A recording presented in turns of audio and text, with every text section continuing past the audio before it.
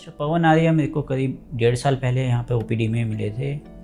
और ये जब आए थे तो इनके मुँह में एक अल्सर था। टंग के बैक साइड पे काफ़ी वहाँ पे घाव बना हुआ है। और उस समय जब भी मैं खाता था तो वो एकदम तीस उठती थी बहुत दर्द होता था। हमने उसकी बायोप्सी करी कुछ स्कैन कराए। विद इन टू डेज़ मेरी रिपोर्ट आई और उसमें कैंसर कंफर्म हुआ।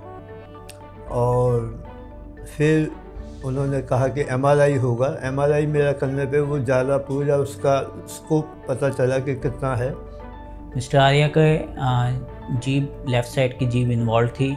जब हमने सब कुछ इन्वेस्टिगेट किया उसके बाद हमारा ट्यूमर बोर्ड मीटिंग हुआ and then we have decided कि हमें इनका पहले ऑपरेशन करना पड़ेगा उसके बाद हम रेडियोथेरेपी करेंगे। सो मिस्टर आर्या बहुत एप्रीहेंसिव थे। लेकिन उन्होंने मेरा बहुत हौसला बढ़ाया। उन्होंने बहुत अच्छे तरीके से मेरे को गाइड भी किया। फिर हमने इनका ऑपरेशन किया, जिसके अंदर almost half of the tongue जो है वो हमें रिमूव करनी पड़ी। और साथ में गले की कुछ गिल्टियाँ भी निकालनी पड़ी। एंड वो पियानो प्ले करते हैं तो यूजली हम जब टंग रिकन्स्ट्रक्ट करते हैं तो हम यहाँ से फ्लैप लेते हैं। बट इनके केस में फिर हमने डिसाइड किया कि हम थाई से फ्लैप लेंगे। बिकॉज़ इससे उनके, अगर यहाँ से लेंगे तो थोड़ी नमनेस आ सकती थी फिंगर्स में तो पियानो बजाने में उन्हें थोड़ा प्रॉब्लम हो सकता था।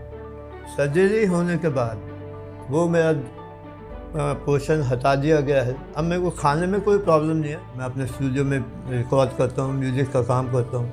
मेरे को कभी कोई प्रॉब्लम नहीं हुई। मेरी बीमारी के दौरान जब मैं मैक्स हॉस्पिटल पचपरगंज में आया मैं, मेरे को इतना सुकून मिला यहाँ के स्टाफ के साथ doctor Saurabh, doctor doctor Sakshi और बाकी जो जितने भी डॉक्टर, मेरे को बहुत अच्छा सपोर्ट मिला। तो इट इज़ वेरी इंपॉर्टेंट कि पेशेंट जल्दी से जल्दी इस ट्रीटमेंट के लिए आएँ और जैसे उन्हें लगे कि मुँह में कोई भी छाला है, कोई भी अल्सर है, कोई भी उनको वाइट या रेड पैच है या वॉइस चेंज हो रही है या गले में कोई गिल्टी आ रही है जो कि दो से तीन हफ़्ते में नॉर्मल ट्रीटमेंट पे सही नहीं हो रही है तो उसके अंदर उन्हें कैंसर स्पेशलिस्ट को दिखाना चाहिए।